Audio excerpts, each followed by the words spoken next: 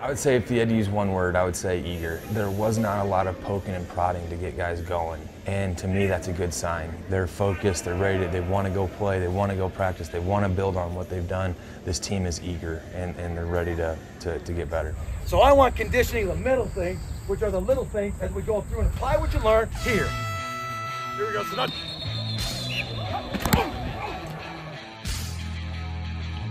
oh, Make it work! Make it work! Our operation was good. Our operation in the huddle's getting better.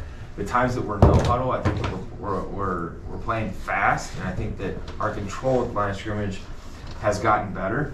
Now, it just like I said in front of the team, it's connecting the dots. They're capable of scoring. They're capable of making good adjustments, and they're capable of of uh, bringing energy and excitement. A message that we used with our offense was we're going to go further faster. So just because you've had success in an area doesn't mean you're going to continue to be successful. You have to continue to sharpen your craft and your tool, but at the same time, we're able to navigate some known roadblocks and the learning curve is faster because they should be able to retain and, and the growth is, is got to be there because your mistakes aren't the same anymore. So I think it's further faster. We're a pretty close group on offense. And then when you factor in, we have really talented dudes all over the place, receivers, crazy talented guys, and then O line.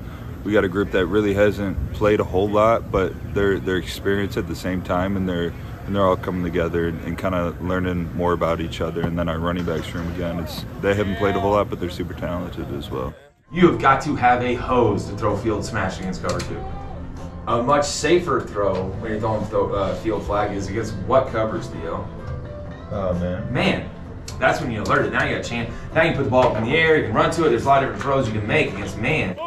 With Coach Reeder and Coach Gans, those are probably the two coaches who I deal with with the most, and we kind of really know each other well. And they know me as a person, and I know them better. It kind of just, I don't know, it kind of just works right now. They can be as good as they want to be. I really believe that. I think you got a quarterback that is eager and, and hungry and uh, confident. I think you have an offensive line that is ready to show themselves. You have a lot of wide receivers that want to get the ball. You think about Harrison Bey-Buie, and he's like steady Eddie. He's typically falling forward, not you know not a lot of negative plays. Just I think he's he's ready to have some more explosive runs. I think that they can be a, uh, an elite offense really if uh, they do what they need to do and they take care of the football and, and we're competitive and get better every day. We play some very good teams. So we have to have a very good team, and that means we just have to lock into focus on our purpose, our job, instead of worrying about offense, defense. That that's a fan thing. That's an internet thing. That's why we come to ball games and and watch games because it's reality TV.